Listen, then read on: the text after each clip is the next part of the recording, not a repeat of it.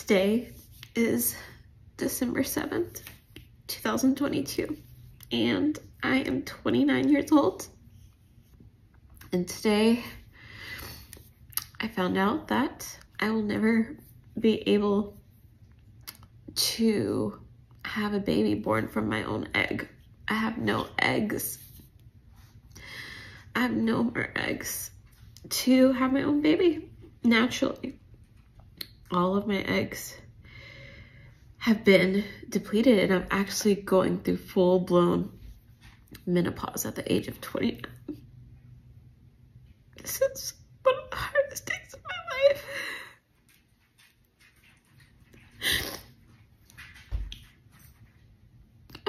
I'm just praying that I'll be able to look back on this memory and one day hold a baby of my own.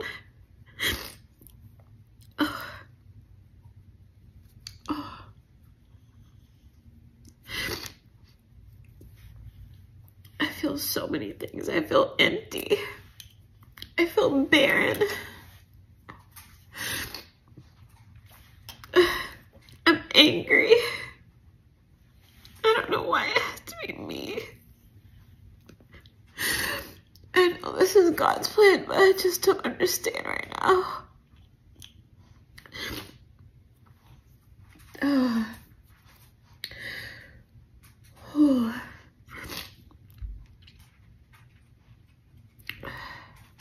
This is a fear that I've had my whole life. I hear so many people go through infertility, but I just, I didn't think it would be this severe. Ugh. I was diagnosed with premature ovarian failure. And essentially that just means that my follicle hormones are extremely high. Menopause levels are like 50 to 134. It could be lower than 50, but it's a pretty wide range for menopause. My FSH level is 136.3. So I have no viable eggs at all. My estrogen levels are less than 10. So my doctor told me I pretty much have no estrogen in my body right now. And that this is not reversible. There's no cure for this. She said I can still carry a baby. I have a perfectly healthy uterus.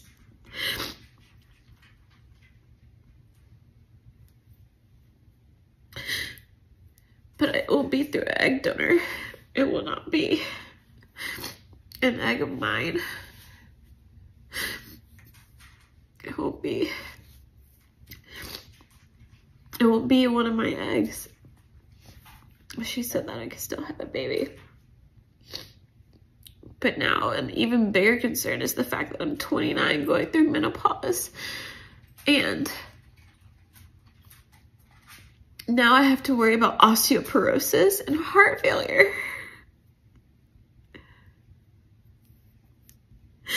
Oh, I just don't understand.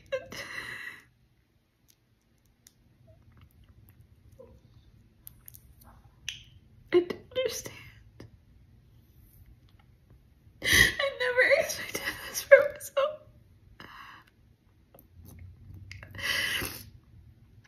Oh my god.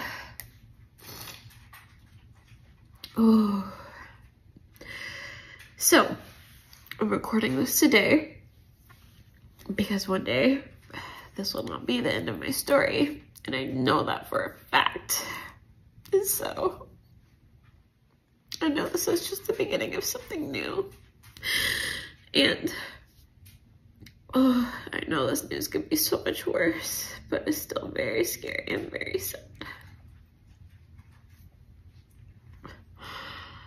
So, this is me on December 7th, 2022.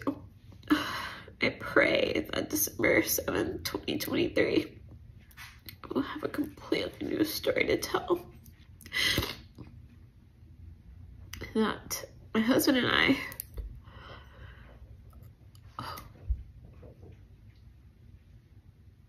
the dog.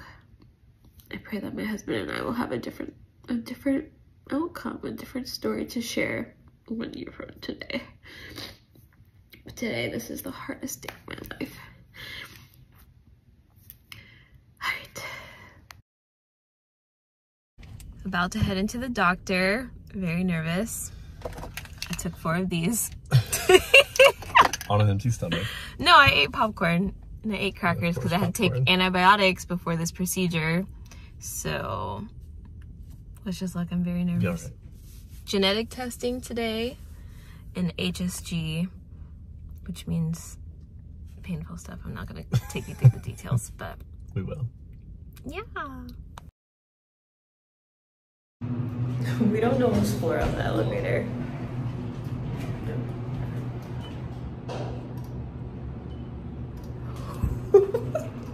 Take another five. I feel like this is not right. Oh gosh. Do we walk down the hallway and then get on the elevator?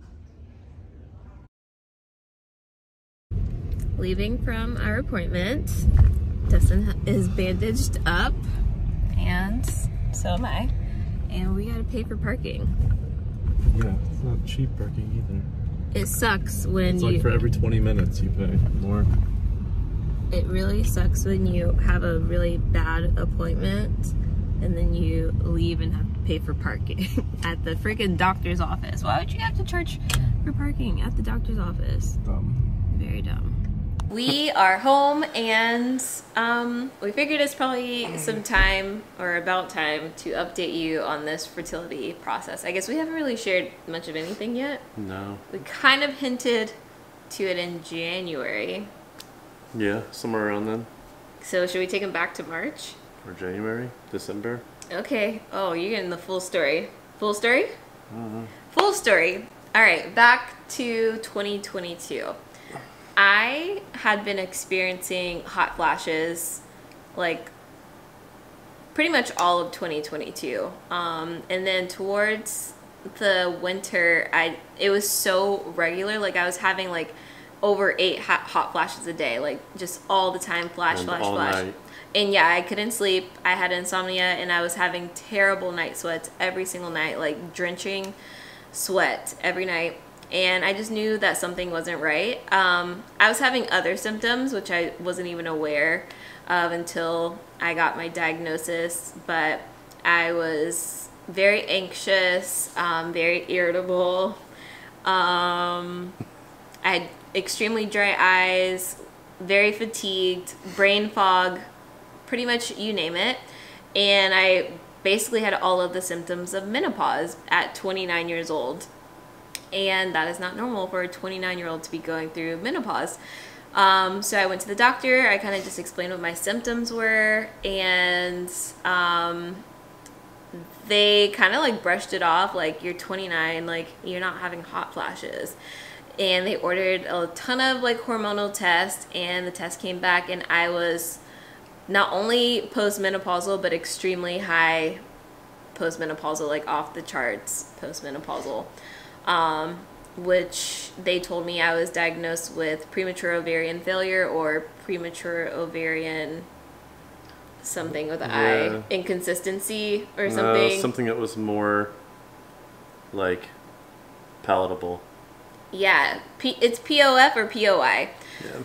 Um, so basically that just means that my ovaries don't like work on their own and I was pretty much told that um I had like the reproductive system of like a geriatric person. like I can laugh now because I've, you know, we've been going to the doctors, but that was devastating. It was literally like the worst. December 7th was the worst day of my life. I cried and I cried and I cried.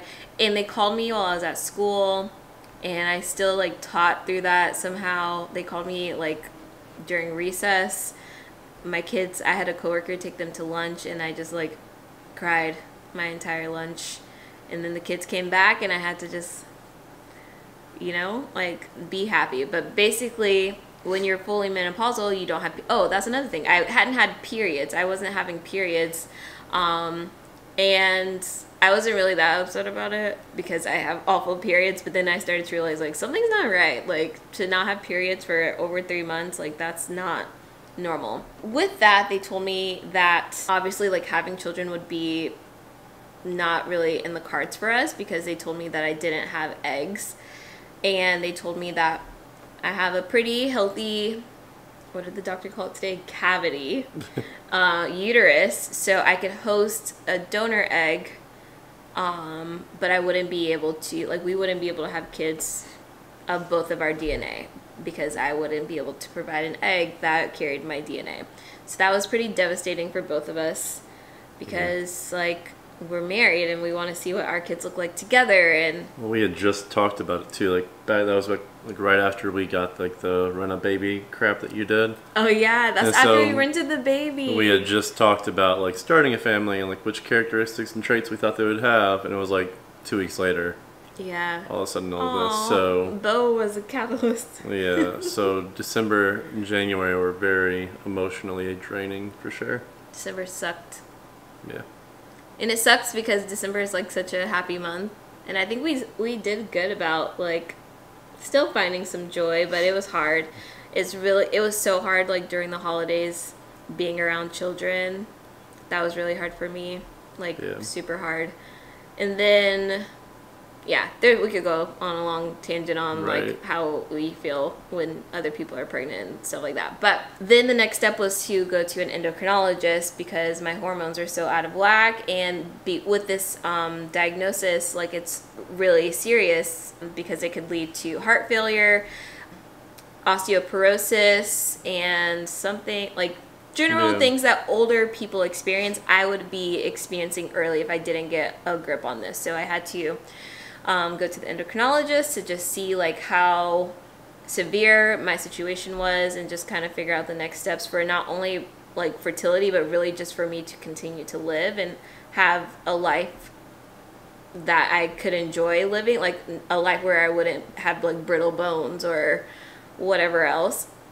Oh, and Alzheimer's or Yeah. dementia um, is another uh, like onset or another consequence of this diagnosis. So we went to an endocrinologist and pretty much they were just trying to figure out like what was the cause of this and it real they realized it wasn't like an autoimmune thing where my body was attacking itself. So that was mm. Guess. Yeah, I don't know. it was just information to have. It didn't really lead to anything. Yeah. And so I did know as soon as I got diagnosed that for the rest of my life I would have to be on hormone replacement therapy, like, you know, like a menopausal person, but I'm still not even 30 yet. We kind of just sat with that information for a little while and then we decided to go ahead and go to the fertility specialist. My gynecologist kind of was telling us like just go to therapy, like sit on this, like you don't really have to rush into starting your treatment options or starting fertility. Like this is really hard for women to handle, so just take your time, but I knew that time was of the essence. Like I'm turning 30, and if I already have issues with fertility, the older I get, the more challenging that's going to be. And I think we just were ready. I'm glad we went when we did. I'm glad we didn't like wait. So in March, we went to see a fertility specialist, and that news was really bleak. Yeah. Okay, so in March we go to a fertility specialist. This is like just a consultation, like getting to know. But basically, we were told that we have, like in short, we have a 5% chance of conceiving naturally, and IVF would only double that percent. So if we were to do IVF, that would increase our percent of getting, or percent chance of getting pregnant to 10%. So we're talking twenty to thirty thousand dollars for a ten percent chance. So pretty much, she told us like it mean it's probably not worth it, um, just because you don't have enough eggs for us to pool for IVF to be successful. And she pretty my our doctor we really our fertility endocrinologist we we like her a lot. She also is like we shouldn't be waiting for you to start your hormone hormone replacement therapy.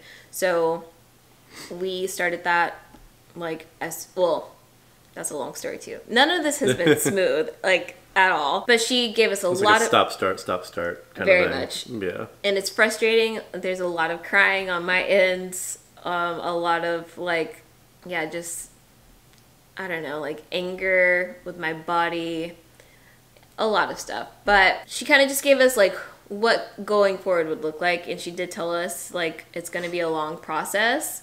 So, first step was to start the hormone replacement therapy. We were ordered to get some genetic tests. And because I wasn't having periods, that also made like ovulation extremely hard and in order to get a test done a very important test the hsg you have to have periods so I started my hormone replacement therapy, and then I quickly realized like maybe this may not be the safest thing for me because of a history of blood clots in my family, and it's hormonal pills can cause blood clots. So then that led to more issue, like more testing that needed to be done, More and stop start. more stop start and because i wasn't my my symptoms had like gone haywire like i was extremely anxious not sleeping having hot flashes again just unhappy and like going to the doctor just made me cry and then there's also like insurance issues and oh my gosh guys like the cost Yeah. of this like Our we teacher didn't even talk about is- the that. It's yeah, it's a lot of money. basically our insurance is not covering any part of fertility for us. So we're paying for all of this out of pocket. Like the cost of that one hour consultation where we just sat in an office for like 60 seconds exactly i mean 60 minutes exactly the cost is asinine Yeah. today we had a procedure Today was more asinine. I'm like, the real reality of it today, we were seen by someone for no more than 15 minutes. Mm-hmm. Yeah, and it was the cost it, yeah. it's unreal we- I don't know. I think I kind of knew going in that it was gonna be a lot, but then when they the numbers increased even more, I was just like, holy crap. Today we paid like for a trip to Paris um, to go to the doctor for 20 minutes. Yeah. I, I keep laughing, guys. Not even like not awkward laugh, but more laughing at like, wow, this is our life. Like, um, yeah, and we're teachers, so like teacher salary, but then also like teacher insurance just sucks. yes, like we don't have access to like our school systems don't and to my knowledge not really any or many school systems like give teachers access to quality insurance that would cover things like this that teachers cannot really otherwise afford yeah, without figuring out some other sort of side hustle or something yeah. Like when we told our um, fertility specialist or endocrinologist that we were teachers, she kind of was like, okay, like she she knew that we wouldn't have Yeah. any of this covered. She didn't even have to ask like where we teach. She just kind of knew that across the board. She literally told us that like we could work at Starbucks and get this covered more than teaching would because Starbucks offers fertility options or Maybe I should they cover fertility for their switch to starbucks I know. I was thinking like after we got the the price for today, I was like, should I try to just get a part time job? But then I don't think part time employees get Yeah, coverage, so it sucks. So there's a lot of like back and forth with my hormones, and I had to meet with a hematologist, oncologist, all of that. Like it's just so much. And basically, for, as a result of that, I'm now also on like a low dosage aspirin regimen, like so that I don't kind of like for heart attacks, again, old people problems. I have to take a daily aspirin every day to make sure that I don't have blood clots. And I did start my hormones and like I do feel already so much better with just one month being on my hormones. Like I am able to sleep at night for the most part, but I don't have any night sweats, no hot flashes. I just feel like my brain is just working more clearly. I think I'm more enjoyable to be around Dustin. she is. He'll be the true judge of that. So. oh my god whatever Um, so I finally had a period with the hormone replacement therapy. And with that, I was finally able to schedule my HSG, which is basically a test to test your fallopian tubes. You like pump they pump dye up your fallopian tubes to see if there's any blockages because that could be one more thing in the way of you becoming pregnant. And when you already have a 5% chance Right. of getting pregnant, you need all the other odds to work in your favor. And one more thing we forgot to mention why the genetic testing is so important is because this is this condition is most likely caused by a genetic condition and then that will be passed on to our children. And with certain genders this could cause things like cystic fibrosis or um, like down syndrome like very severe um, like mental disabilities if we were to have a boy so that's another thing because it passes on the X chromosome or something like that. And so that was one more thing, or excuse no, a boy is XY. So that was another issue that we were afraid of because we have this 5% chance of getting pregnant, but if it's a boy and I am passing on this genetic trait that could make their lives a lot more challenging, like it's just a lot, a lot going into this. And it's scary. It's extremely scary. But I had that procedure today and it was awful. it was so bad. Yeah, I think it didn't help either that like we went into it thinking that I would go back there with her. Mm-hmm. And then when they came to get her, like, oh no, you have to stay. So she was like, yeah, she had to go back by herself, which didn't help, I don't think. It was so painful. They told me it was gonna hurt, but it was worse. I took four ibuprofen. So I had 800 milligrams of ibuprofen in my system, and I was in so much pain. It was awful. And when I was on the table, they you can see on the screen like what your fallopian tubes are looking like. So optimally, you want the dye that they pump into you to go through your fallopian tubes to both ovaries to show that your uterus and everything is functioning the way it should. And of course, on this trajectory that we're on, like nothing is simple, and my left fallopian tube was blocked. They kept saying like, "I'm so sorry," and that didn't make me feel any better. Right. And I was like holding it together. I was in shock by the amount of pain that I had to endure. But then, like, I knew I still needed to go get blood drawn for our genetic testing. Dustin, while I was getting the HSG, Dustin was getting his blood drawn. And I got a little bruise on my arm. but yeah, I just knew that ha- having one less fallopian tube that I think mathematically slashes your chances of getting pregnant in half. And for us, two and a half percent is right.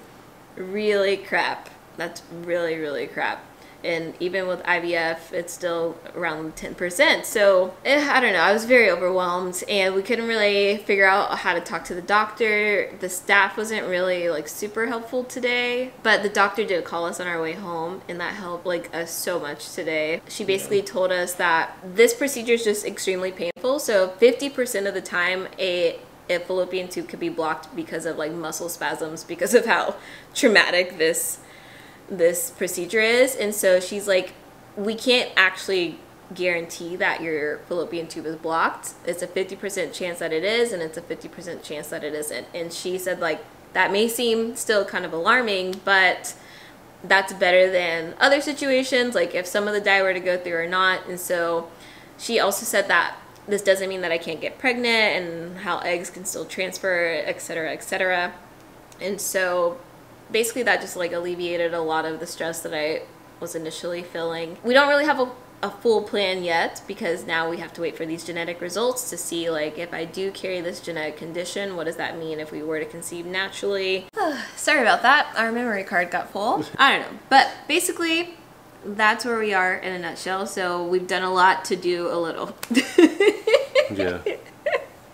Yeah, really nothing's happened but still so much has but yeah. like nothing's happened to progress us to getting a baby but so much has happened to like stop us. Right. Or drain our bank account. And drain our bank account.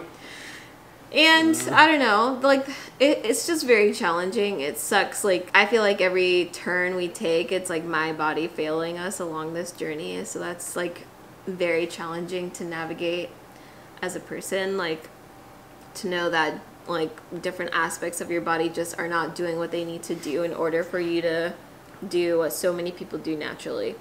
That's extremely hard. And then also knowing how freaking expensive this is and yeah. also like we do plan to try naturally with our 5% chance, but if this doesn't work, then we do have to go the egg donor route and just accept that like or adoption, I guess, but yeah. accept that I won't be a part of like our children. Yeah. I mean, genetically. Obviously, right. I'd be their mother, but it just wouldn't be the same. So that's our fertility journey so Yeah. far. We're hoping that we can update you throughout. But this is also why, like, we probably waited this long to share, just because it's a lot and a little all at once. Right. Uh-huh. and it was time for us to process and figure out and kind of understand like where we stood on things or how we were feeling as opposed to just jumping right in. Yeah. Like it's been, you know, closing in on seven months since we found out. We're just now sharing openly.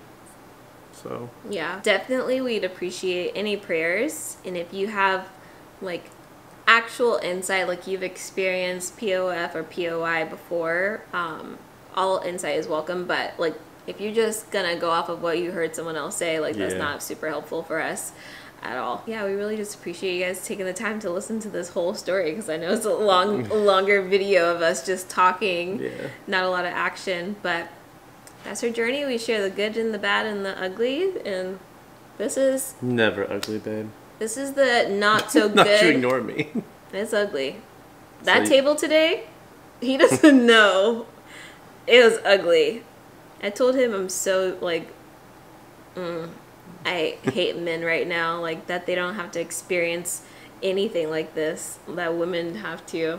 Not this man, just the species of men. It's not fair. It's not fair what women have to deal with, but that's another story for another day. I'm probably gonna feel that way a lot in the next few months. Oh my. But anyway, thank you guys for listening, Yeah. and we'll see you guys next time. Keep you updated. We'll keep you posted, yeah. As goes with all bad news, it's going to be followed by a trip. So we'll see you soon. Yeah, we will be doing some adventuring.